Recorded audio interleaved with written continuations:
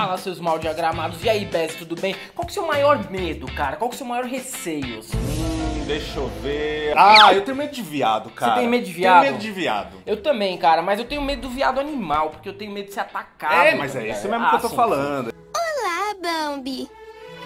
É Porém, a direita tem medo de viado, de gays, né, cara? e é um medo é. irracional, né? Porque, na verdade, muitos deles nem convivem com gays, mas assim, eles encontram no Jean William, como eles chamam por aí, e na Pablo Vilar, grandes inimigos da sociedade brasileira.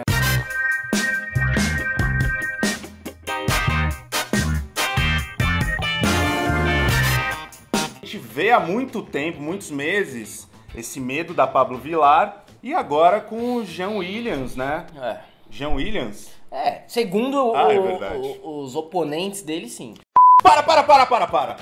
Antes da gente continuar esse vídeo, ainda tem muita coisa pela frente. Se inscreve no nosso canal, ativa as notificações, dá seu like, comentário, já sabe o que fazer. E no final do vídeo tem comentários odiosos, aguarde! Não, uma coisa muito triste que aconteceu, a gente ficou realmente assim, tocado e. Porra, bicho, o cara não vai poder voltar pro Brasil. E aí começaram os direitistas, bolsominions a falar que é tudo mentira! Que é fake news! Criaram várias fake news sobre o caso, né? Falaram que o Adélio tava dirigindo um HB20 do Jean Willis no dia do ataque. Ah, E a galera Sim, acredita! a galera acredita. Entra na comunidade do Nando Moura que você vai perceber o que, que é delírio. Assim, cara, você pode até discordar do que o Jean Willis tenha como pauta política, e eu discordo de algumas também. Porém, assim, a gente já viu. Marcelo Freixo já foi ameaçado, tanto que anda com seguranças por conta da CPI da milícia. A Marielle foi fuzilada, cara, caixão fechado, porque detonaram a cabeça da mulher. E agora a gente tem as ameaças sobre o Jean Willis, que a galera ainda tem a moral de ficar questionando se é verdade ou não, A né? gente não concorda com tudo que o Jean Willis prega, fala, esses anos que ele passou na Câmara Federal, mas a gente não pode é concordar mesmo com fiscal de coalheio da direita, cara. É impressionante É como os caras se preocupam com os nossos cus. E os cus deles, eles não têm a menor preocupação, porque afinal de contas, muitos homens não gostam de limpar o próprio rabo, É. com medo de virar viado se mexer ali.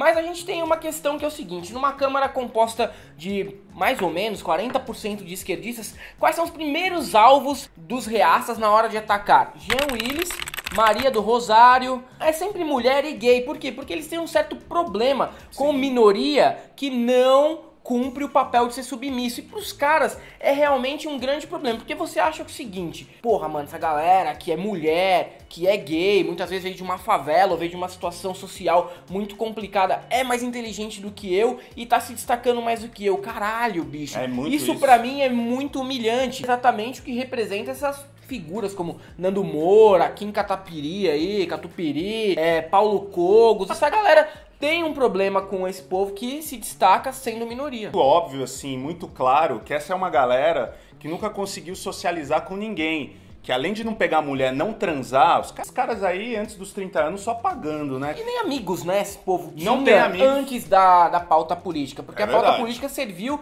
pra que eles tivessem um senso de coletividade, né? E uma histeria absurda que é o que se criou na direita extrema. A gente tá falando sempre da direita extrema porque a direita tem coisa legal também. É, sim, sim. Aí a gente pega, né? Como é que é a questão da inveja e do recalque, do ressentimento que funciona nessas pessoas. Antes da política, vocês acham o quê? Que Nando Moura tava num barzinho, que o Kim Kataguiri tava pegando mulher ou homem, sei lá qual é a orientação sexual dele. O Não Paulo- fala isso! que o Paulo Olha tava- fake news! que o Paulo Cogos estava indo pra shows de rock, de samba, de funk, de sertanejo. Não, mano, essa galera tava batendo bronha no quarto, ressentida pra caralho, chorando porque nunca teve amigo, nunca teve mulher, nunca teve sexo. Então, mano, pra eles é melhor ficar fiscalizando o cu alheio, porque eles nunca, nunca no mundo vão conseguir chupar esse tanto de pinto, cu e buceta que tem por aí, que tá, mano, é maravilhoso. É Hoje em dia todo mundo basta baixar o Tinder, consegue transar. E eles não, mano, nem com isso conseguiram. Então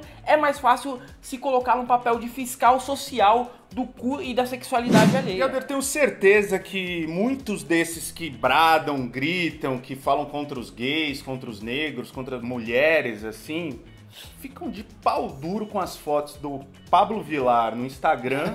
Pô, tem umas fotos ali É. que é foda. E quando ele se apresentou no Faustão, porque aí não tem desculpa, né? O Instagram não vai entrar, mas pô, tá passando Ai, no que Faustão. delícia, porra. Praia que que delícia. delícia. Imagina Essa como- mulher é maravilhosa. Ah, é delícia, Ah, melhor ainda. Não sou não. Imagina como é o fetichismo envolvido na cabeça de uma pessoa que às vezes está dentro do armário, mas tem que posar de machão pra família. O cara tá lá assistindo o Faustão, parece a Pablo Vilar, e aí, mano, fica de pau duro, tem que sair com a almofada no meio da família e falar, vou dar uma cagada. Na verdade, o cara vai lá bater uma bronha no banheiro. Ou se não, mano, tem um fetichismo também de escatologia, né? Quando, por exemplo, o Jean Willis cuspiu nos Bolsonaros, deve ter gente que, mano, Ah, ficou com uma ereção ali e não entendeu o porquê, ficou se perguntando, e aí, como às vezes não aceita, né, a própria sexualidade, os próprios fetiches, acaba usando de atacar e perseguir as pessoas. Na cabeça de uma pessoa dessa, é melhor você, mano, omitir todos os seus desejos do que ser bem resolvido como o Jean ou como a Pablo. Essa galera, quando é chamada de homofóbica, ai que absurdo! Ai, que absurdo! Não é homofóbico, não. É que ele fala umas bobagens, mas assim, tem até uns caras que eu conheço que é gay.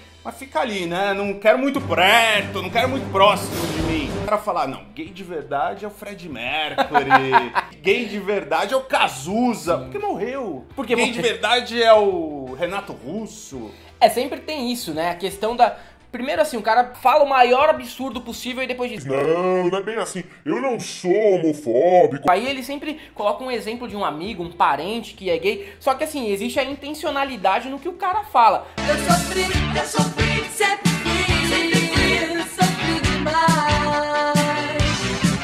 Muitas vezes, porra, você pode estar num boteco aí, você é de esquerda, sei lá, pissolista, cirandeiro, e soltar um tipo, é brother, que viadagem, hein? Não tem intencionalidade de perseguir gay esse tipo de comentário, embora é melhor você evitar. Claro. Agora, a intencionalidade de certas pessoas que falam algumas coisas e perseguem, como Jean Willis, Pablo Vittar, vários outros, existe sim, existe de perseguição, existe de omitir, de sufocar que essas pessoas existam. Então você já deve ter visto esse meme que um Bezzi falou aí. Não, gay bom era na minha época, que nem o Fred Mercury, que era bigodudo e coxudo, É. parecia o meu pai. Não esses gay viadinho aí. Nem todo- beijava na boca. Todo, todo cheio de frescura e feminilidade. Porque pros caras, exatamente isso. O bom é o gay que não parece que é gay. Então, eles vão lá, pesquisam na internet, tipo, gays que parecem homens, héteros. E aí acham, tipo, Marco Nanini, que eles nem sabem direito quem é, e coloca no meme, assim.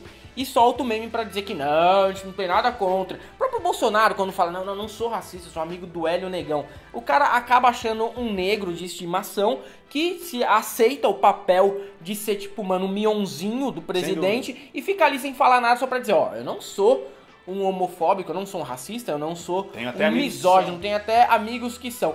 E aí você vê as pessoas falando, não, mas pô, Jean Willis foi ameaçado de morte, a Marielle morreu, mas e as outras pessoas que morrem? Então, eles sempre usam esse super trunfo. Existe a questão do ícone. Esse povo não entendeu o que é um ícone. Porra, a Marielle é a própria Fênix Negra, mano. Ela mesmo morta está presente. Sem dúvida. E o Jean Willis tem uma representatividade, mano, na Câmara. Então, assim, Todos os óbvio, prêmios que óbvio que, ganhou. todas as mortes e todas as ameaças se equivalem porque a vida do ser humano não vale mais do que a outra.